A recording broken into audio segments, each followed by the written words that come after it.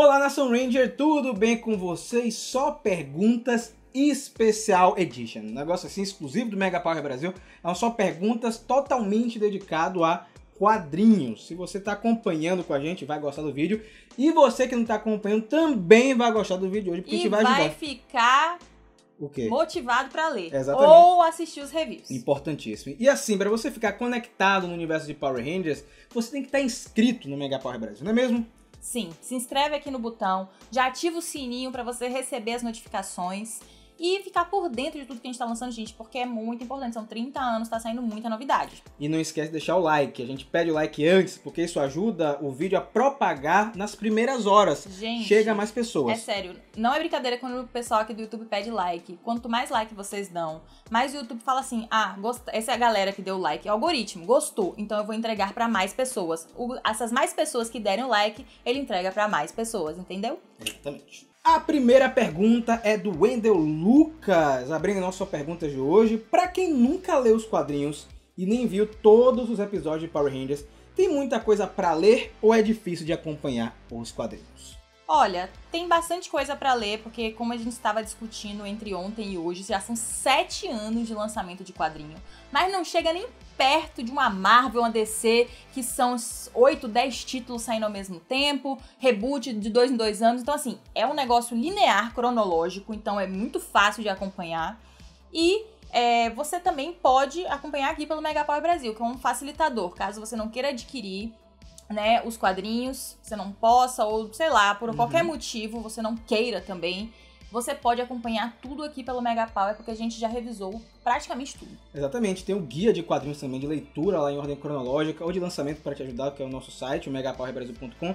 E assim, cara, não fica preocupado em assistir tudo para entender os quadrinhos, até porque esse material não é feito só para fã hardcore, é Isso. feito para quem tá querendo ler um quadrinho.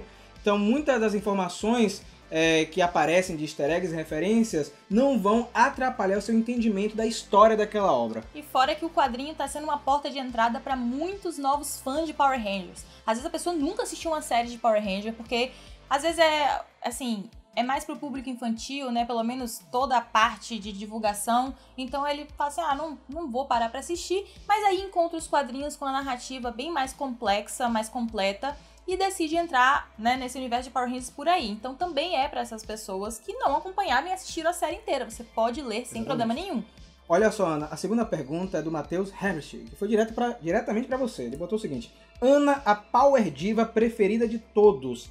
Queria saber onde começo a ler, por ordem cronológica ou de lançamento. O que, é que você recomenda, Ana, para leitura dos quadrinhos? Ó, eu acho que a gente em Power Rangers tem uma coisa boa, que muita coisa tá numa meio que uma ordem cronológica. A gente tem várias sagas que são realmente uma sucessão da outra. Mas se você é assim uma pessoa que curte cronologia, tem essa opção. Eu acho que a ordem de lançamento é super tranquila, Funciona, né? funciona super bem, não é confuso, mas fica aquela opção, né? Tem gente que prefere botar tudo ali em ordem e ler. Lá no site tem um guia de quadrinhos, você pode ir lá As duas ordens. se, se informar e escolher. Tem a cronológica e tem também a ordem de lançamento. Como você não falou nada pra mim, eu não vou responder essa pergunta. É brincadeira, viu, Matheus? Mas eu concordo com a Ana. Vai aí do gosto do É. cliente, né? A terceira pergunta é do Luiz Henrique M. Qual crossover vocês gostariam muito que acontecesse nos quadrinhos? Você diz crossover é, entre equipes de Power Rangers ou crossover com outra equipe de outro quadrinho, enfim, tipo Vingadores DC? Mas se fosse de Power Rangers, você acha o quê? De Power Rangers, eu gostaria de ver o pessoal de Power Rangers Dino Fury Hum, com o pessoal de. pensa. Deixa eu ver. Na verdade, eu gostaria de ver a equipe de Dino Fury interagindo com outras equipes de Power Rangers mais, assim. Um crossover mais. Não só aquela parte, ai, apareceu na tela. Vamos, Presencialmente. Presencialmente, eu acho que seria muito legal se tivesse um encontro de todas as equipes de dinossauro. Mas eu não quero só aquele especial do Jason onde tá todo mundo morfado. Eu queria uma coisa mais Consistente. consistente. E, e, assim, no quadrinho você teria liberdade, você não precisa de ator, né? Então eu acho que, assim, realmente uma conversa, a galera interagir de verdade. Em Shattered Grid a gente teve vários momentinhos, né? Mas nunca assim um negócio realmente, por exemplo, igual o Tartarugas, que tá ganhando, ganhou um Um um crossover. depois ganhou uma continuação, e aí você vê realmente os personagens interagindo, trocando figurinha, se conhecendo melhor. Então eu queria ver o pessoal de Dino Fury interagindo com outras equipes de Rangers. Sabe o que eu gostaria, Ana? Um quadrinho chamado Power Rangers eh, The Lost, eh, as histórias perdidas, né? E Sim. seriam com crossovers que não The aconteceram na Lost série. Chronicles. Isso, mas já, teve, já tem esse nome, Lost Chronicles, por isso não falei. Seria Lost Crossovers, seriam os Aham. crossovers perdidos, né? Porque é, a gente não teve alguns crossovers por conta da mudança de, de, de Saban pra Disney, então Força Animal e Tempestade Ninja nunca aconteceu. Então poderia acontecer esses crossovers nos quadrinhos pra matar aquela saudade de uma temporada ou de outra. Eu gostaria que rolasse. Agora de equipes assim do universo fora, E talvez tem Vingadores. também Beast Morphers com RPM, né? É, que poderia muito rolar legal. com os Nossa, Rangers ia mesmo, né? Teve a. Doutora K e tudo, mas assim, com os Rangers, todo mundo morfadinho junto, conversando. Ou mostrar, Ana, lá naquele especial de Samurai, quando os Rangers Samurai foram pra a dimensão, o universo de RPM, mostrar o que aconteceu por lá, né? Que eles fizeram amizade, etc. Verdade. Sentimos falta disso, viu, Boom Studios? E falando de crossover fora do universo de Power Rangers, eu acho que um crossover muito massa que poderia acontecer é Jovens Titãs e Power Rangers. Eu acho que seria super engraçado. O Robin, a Eu Estelar. pensei que você ia falar outra coisa, sabe? Falou o quê? Não vou deixar. Mentira, eu pensei que você ia falar de End Hologram, sabe? Tipo, Ah, eu, tá, eu também. ia pensar. Eu tinha pensado em falar isso, acho que mas ninguém aguenta mais essa É piada. Talvez, Ana, eu acho que um crossover de com Transformers poderia acontecer também, né? Tá na hora já, né? São propriedades da Hasbro, são propriedades famosas. Eu só gostaria, na verdade, de um crossover de Transformers se os Transformers fizessem alguma coisa que ativasse os Zords e os Zords começassem a falar.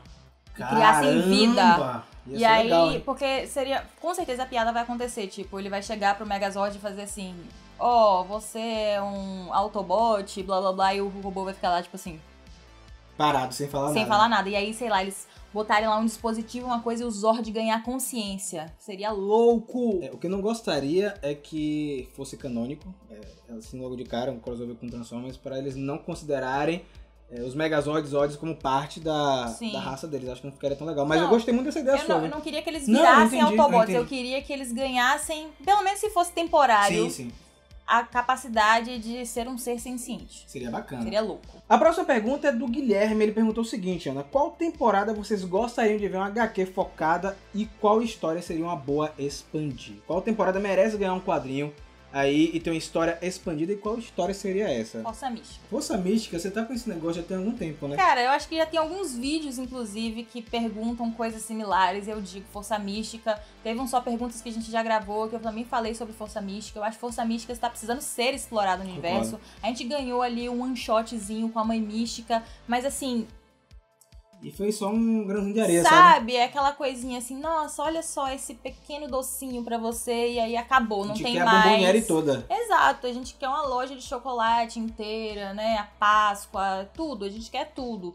E aí, eu acho que um quadrinho assim, né, saindo direitinho, contando outras histórias do universo seriam muito boas. Talvez expandir a própria história da mãe mística, porque a gente não Isso. sabe como foi que aconteceu esse processo da Rita Repulsa se tornar uma Eu mística, acho, né? eu acho que seria incrível. Eu acho que dava pra fazer mais assim, quais não só como ela se tornou, mas o que que, o que que ela faz ali nos bastidores que a gente não sabe. Provavelmente tem várias coisas que foram foi ação dela que a gente não faz ideia.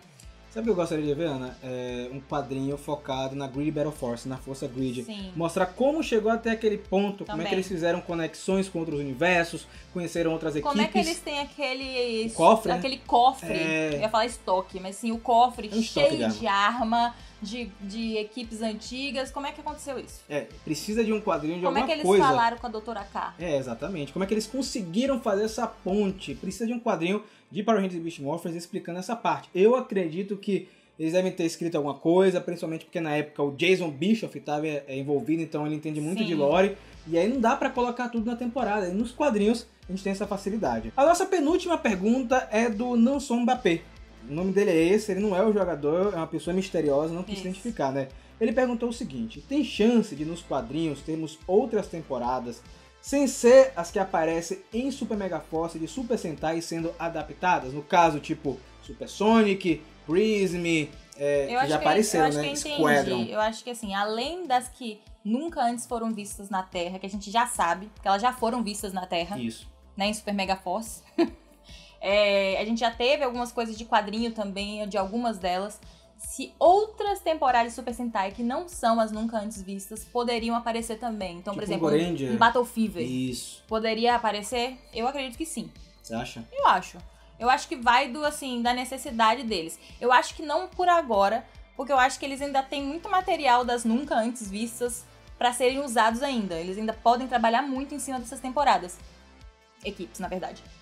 Mas se surgir a necessidade deles, ah, eu preciso de uma equipe para aparecer, não sei o quê, eu não sei, não tem nada É. que impeça eles de puxarem uma equipe de Super Sentai nunca adaptada. Até porque eles têm os direitos pra fazer isso, né? Isso. É, a gente sabe que eles têm os direitos, pelo menos até Dino Fury de todas as séries Super Sentai. Então, da década de 70 até é, os anos 2010, né, 2019 no caso. Então, eu acho que pode rolar sim. Eu gostaria muito de ver alguns, inclusive, tipo o Sim. Sam Vulcan, o próprio Battlefield, que tem um visual bem diferente. Seria muito bacana ver Eu nos quadrinhos. amaria ver Battlefield nos quadrinhos. Seria muito bom. Vocês gostariam de qual Super Sentai sendo adaptado nos quadrinhos? Comenta aqui.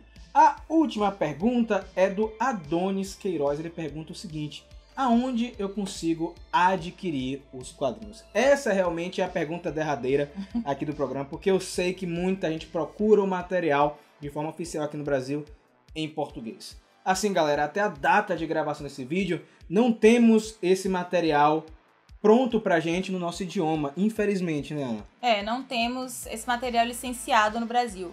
A gente tem aquele único quadrinho que saiu do Ranger Verde ano 1 há um tempão e só aquilo. Então, infelizmente, para quem quer adquirir quadrinho hoje, você pode adquirir através das formatos digitais, É, né? pela Você comprar é, as revistas de edição mesmo, as que saem na banca. Também tem os compilados, né? Que são aqueles quadrinhos, são os tijolos. Eles são mais caros, são. Lembrando Mas- idioma, né, Ana? É, tudo em inglês, viu, gente? Não tem nada traduzido oficialmente. Então tem aqueles tijolões que tem tudo. Além de ter as histórias, tem vários extras de desenho, vem histórias extras. Então, assim, é um investimento que você faz para ter o material.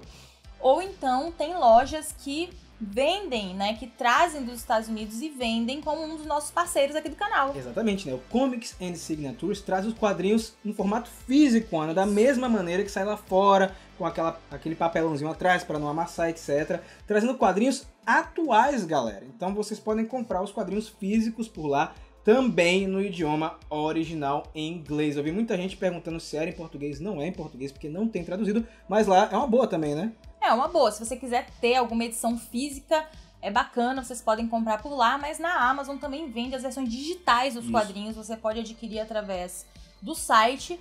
E essas são as maneiras legais de você conseguir os quadrinhos, gente. Claro que existem outras maneiras, todo mundo sabe, né? Inclusive as empresas sabem. Então, assim, fica aí a questão se você quer ter o material em mãos original, se você quer apoiar a marca, né? Enfim. Cada um vai decidir, mas existem essas suas opções. Bem, por hoje é só. Se você gostou do vídeo, deixa o seu like. Quem sabe a gente faz uma segunda parte. Deixa aqui nos comentários desse vídeo especificamente outras dúvidas de quadrinhos. Quem Quadrinhos. sabe rola aí uma continuação desse vídeo. Não esquece, é claro, de seguir o Mega Power Brasil nas redes sociais, Twitter e Instagram, onde saem as grandes novidades do universo de Power Rangers.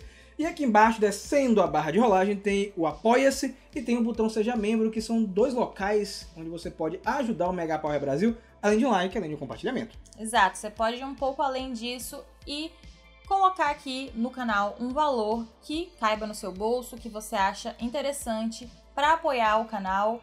Não só o canal, apoia o site, apoia o podcast, apoia a nossa vida, porque o Mega Apoio Brasil é o nosso trabalho full time. Exato. Então você pode contribuir e virar um dos nossos apoiadores. Sim, como Rafael de Paula, Carlos Alberto Petroni, Alan de Gama e toda essa galera insana que tá aparecendo aqui na tela. Gente, nos vemos muito em breve.